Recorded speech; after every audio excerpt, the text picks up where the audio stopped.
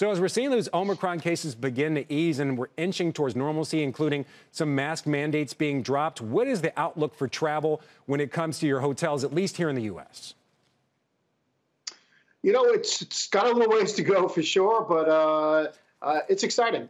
Uh, you know, we saw some really dynamic uh, movement back in October and November and beginning of December until uh, Omicron started to come in. So I think we're going to pick right back up from there. You know, this is a slower time of year for the New York market anyway. Uh, as we start to come out of February into March, weather gets nicer. Uh, if we're really starting to move forward, hopefully this time for good, uh, becomes an endemic. We learn how to live with it. Uh, I think uh, in the next few months we could see tremendous demand coming back. So obviously, international travel is something that's beginning to rebound, um, at least it was before Omicron. Do you see that fully recovering sometime in 2022? And obviously, those people, they come from a different country, they're looking to have a good time and maybe spend a little bit more money. So, fully recovered, yeah, I would say on the leisure side, uh, yes, that'll bounce back. It'll bounce back quickly, and it'll only take, uh, you know, the people plan their trips much shorter than they used to in the past. So, that'll come back. The, the corporate travel and the international corporate travel, uh, that's not going to bounce back as quickly. Uh, we still haven't seen that yet move to uh, reasonable levels, uh, even domestically, uh, even back in October, November. So, uh, but I think it's all tied again to the, to the pandemic. Uh, companies right. weren't letting their people travel.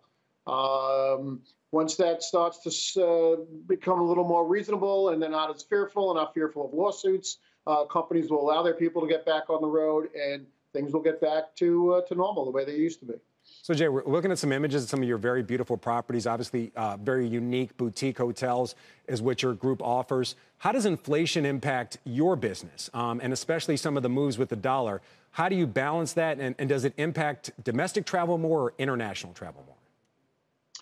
Yeah, uh, right now, obviously, uh, we're, we're getting mainly just domestic travel, so it's impacting them.